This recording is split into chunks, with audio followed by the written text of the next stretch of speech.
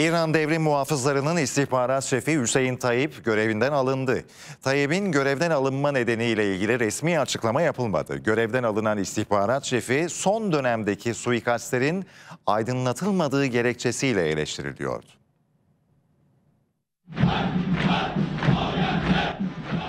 İran'daki suikastlar İran ordusunda depreme neden oldu. Devrim muhafızlarından istihbarat şefi Hüseyin Tayyip görevden alındı.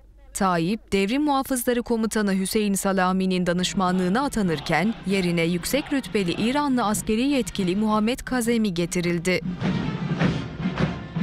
Tayyip'in görevden alınma nedeniyle ilgili resmi açıklama yapılmadı. Ancak ülkede son dönemde üst düzey İranlı isimler suikastlara kurban gitmişti. Tahran saldırılardan İsrail'i sorumlu tutuyor. İstihbarat şefi Tayyip ise bu olayları aydınlatamamakla suçlanıyordu. İsrail'in iddialarına göre Tayyip Türkiye'deki İsrail vatandaşlarını kaçırma ve suikast düzenleme planları yapıyordu.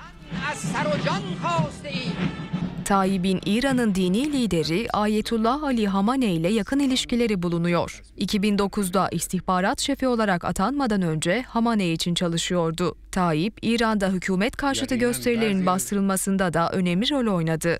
İnsan hakları ihlallerinde bulunduğu gerekçesiyle ABD'nin yaptırım listesinde.